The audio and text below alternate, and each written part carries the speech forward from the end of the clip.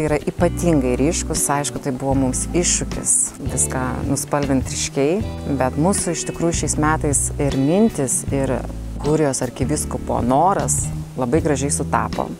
Jie irgi norėjo spalvų.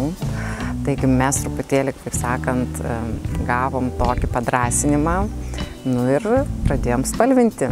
Ir jeigu įėję į baziliką arba į koplyčią, jūs pamatysite, kad viskas nusispalvinę mėlynos spalvos atspalviais. Ir vėlgi tai yra Marijos spalva, kuri truputėlį užlieja mus tokią ramybę. E, Laukėgi matome visiškai kitokias spalvas, tai matome šieną, kuris simbolizuoja šiuo atveju visų atliktų e, vasaros darbų pabaigą.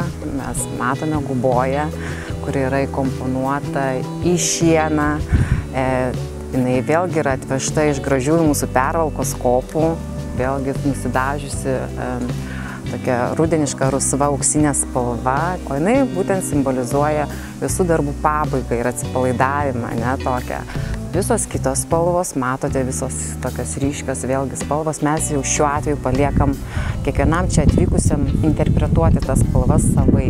Labai daug kas ateina ir klausia, ar tai yra dirbtinės gėlės, nes iš tikrųjų spalvos yra ypatingai ryškios, ar ne, bet ne, tai nėra dirbtinės ir tai net nėra dažytos gėlės, jos iš tikrųjų auga gamtoje bet tokiom spalvom, kaip ir matote. Spalvų daug ir rūšių gėlių irgi yra nemažai, nes kiekviena gėlė turi savo kažkokią tai gražią spalvą, kurią mes ir norėjome panaudoti.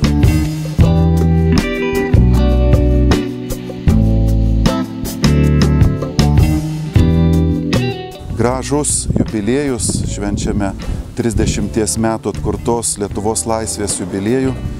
Tai tikime laisvę, tas šūkis atsispindi ir šiandienos mūsų šilovos pošyboje, kad tikime mes tą laisvę, mes tose gėlėse, tos, toj tokioj tikrai apstybei matome ir kurėją, bet ir kvietimą kurti grožį šiame pasaulyje, naudojantis kurėjo mums paliktomis medžiagomis. Faktiškai pačios gėlės skelbia Dievo garbę. Ne, tai liūdimas tikėjimo, ta atversta knyga. Viena knyga bus atversta prie pulto, švento rašto knyga, kita knyga atversta yra gamtos arba kūrinijos.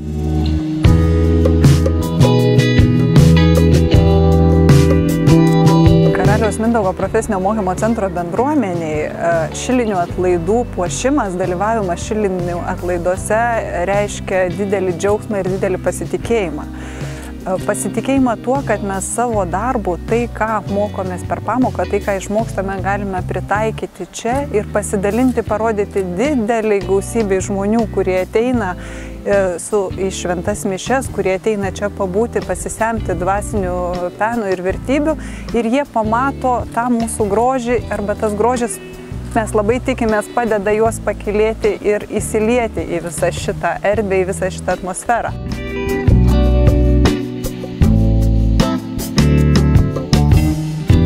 Floristo profesija yra labai įvairialypė. Iš vienos pusės gali pasirodyti, kad tai yra tam tikrų gėlių komponavimas, puokščių, šventinė atributika, bet iš tikrųjų tai yra daug plačiau. Tai yra ir menas, kuris atsiskleidžia įvairiose erdvėse, tokiuose kaip šitose, ir praktika.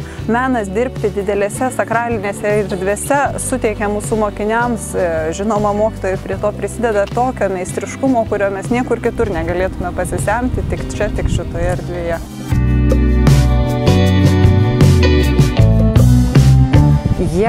Pajaučia vis dėlto turbūt tą skonį po viso to sunkaus darbo, kai pajaučia tą rezultatą ir kai tikrai žmonės eina ir sako komplimentus ir matosi, kad jie labai labai labai džiaugiasi, kad va, vis dėlto jie daro tai, kas visiems patinka.